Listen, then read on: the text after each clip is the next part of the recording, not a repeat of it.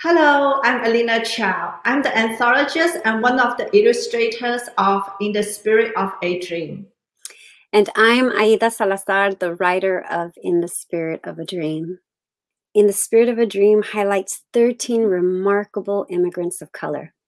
Some of their stories are well known and others are not.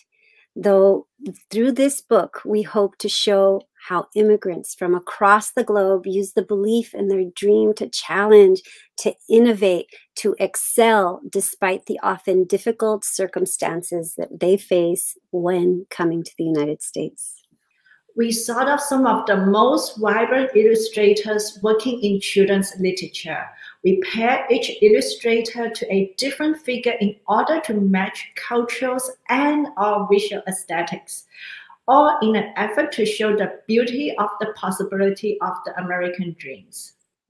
Through colorful paintings and lyrical poems, the stories featured in this book are a testament, not so much to the American dream itself, which doesn't always come true for some, but a testament to the resilience of the human spirit to rise above adversity and to thrive.